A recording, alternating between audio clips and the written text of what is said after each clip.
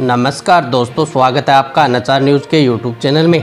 आज नेपाल से एक बहुत बड़ी खबर निकल के आ रही है कि नेपाल आर्मी की Radhika Thapa, counter insurgency and jungle warfare को पूरा करने वाली नेपाल की पहली महिला सैनिक बन चुकी है। दोस्तों, वीडियो को अंत तक ज़रूर देखें, तभी आपको पता चल पाएगा कि राधिका थापा ने कौन कौन से काम किए हैं नेपाल के अंदर, कि राधिका थापा को नेपाल करने वाला है सम्मानित सैनिक राधिका थापा ने नेपाली सेना में महिला अग्रदूतों के इतिहास में एक पृष्ठ जोड़ा है, जो मांग और कठिन counter insurgency and jungle warfare को पूरा करने वाली नेपाल की पहली महिला सैनिक बन चुकी है। राष्ट्रीय सेना के जनसंपर्क निदेशालय के अनुसार सिंधुपाल चौक के मेल मची के रहने वाले थापा दो हज़ार उनहत्तर ईसा पूर्व में नेपाली सेना में शामिल हुए थे। तीन महीने के अंदर अपनी ये ट्रेनिंग पूरी की, जिसमें कई अन्य लोगों के बीच जंगल नेविगेशन बूबी ट्रेप की भी स्थापना की। जंगल में